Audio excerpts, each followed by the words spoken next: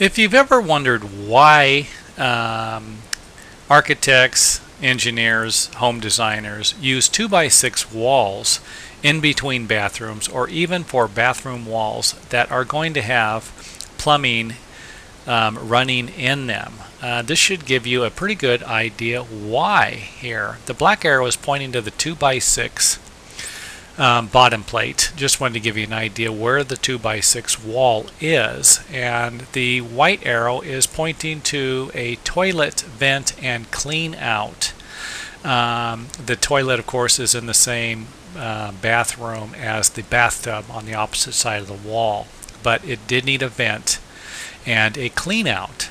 So um, the that would be about a three and a half inch fitting um, plus the clean out. Sometimes that doesn't even fit in a uh, 2x4 or a 3.5 inch wall very good anyway.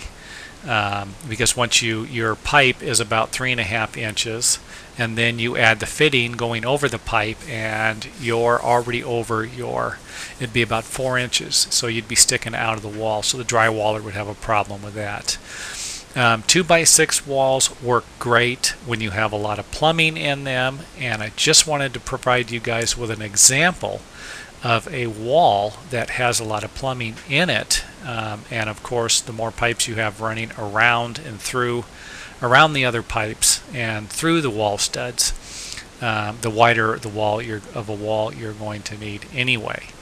Um, designing a house in a bathroom um, if you're going to need a clean out for your toilet um, and, or be or you're going to be running a few pipes in there um, it wouldn't be a bad idea to put a 2x6 wall in there just to save yourself um, the potential of having some problems or pipes actually sticking out of the wall creating drywalling problems